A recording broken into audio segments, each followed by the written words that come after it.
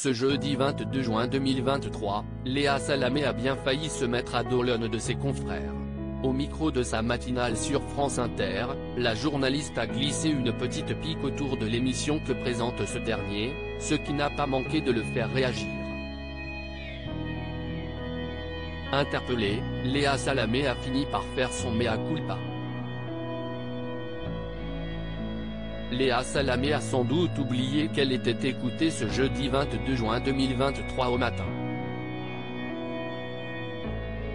Toujours aux commandes de la matinale de France Inter avec Nicolas Demorand, la journaliste recevait Maxime Biagui et Grim Cujo, des twitchers professionnels devenus très populaires. Les deux amis étaient venus faire la promotion de leur talk show Zen attendu le 26 juin au Zénith de Paris et qui sera retransmis en direct sur la plateforme Twitch. Il s'agira d'une émission qui reprendra les codes des late shows américains. Et pour cause, Maxime Biagui et Grim Cujo s'inspirent beaucoup du milieu de la télévision pour créer leur contenu. D'ailleurs, Grim Cujo l'a reconnu, il est toujours aussi fan du petit écran. Je regarde encore la télé, le vendredi je regarde les VOD de la semaine de questions pour un champion, a-t-il lâché, suscitant alors l'étonnement de Léa Salamé. La compagne de Raphaël Glucksmann ne se doutait pas qu'à son jeune âge, 22 ans, il était possible de s'intéresser à ce genre d'émission. D'ailleurs, elle a d'abord cru que son invité la suivait simplement pour son présentateur Samuel Etienne, un tweet chez lui aussi. Mais Grimacujo a continué d'affirmer que Question pour un champion était un véritable petit plaisir pour lui.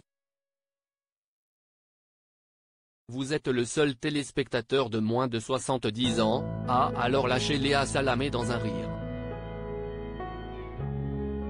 Léa Salamé épinglée sur les réseaux sociaux et sa réflexion spontanée n'a pas échappé à Samuel Etienne justement. Sur Twitter, l'animateur a donc décidé de réagir. Si vous avez moins de 70 ans et que vous regardez Question pour un champion, merci de RT, si est juste pour montrer un truc à Léa Salamé, a-t-il légendé sous l'extrait de la matinale.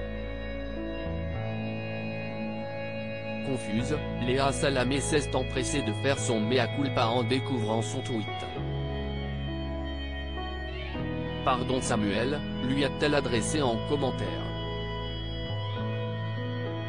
Heureusement, Samuel Etienne est du genre à tourner la page rapidement. Sans rancune, lui a-t-il répondu. Les internautes étaient en tout cas nombreux à défendre Samuel Etienne et à confier se retrouver régulièrement devant question pour un champion, tout étant beaucoup plus jeune que 70 ans.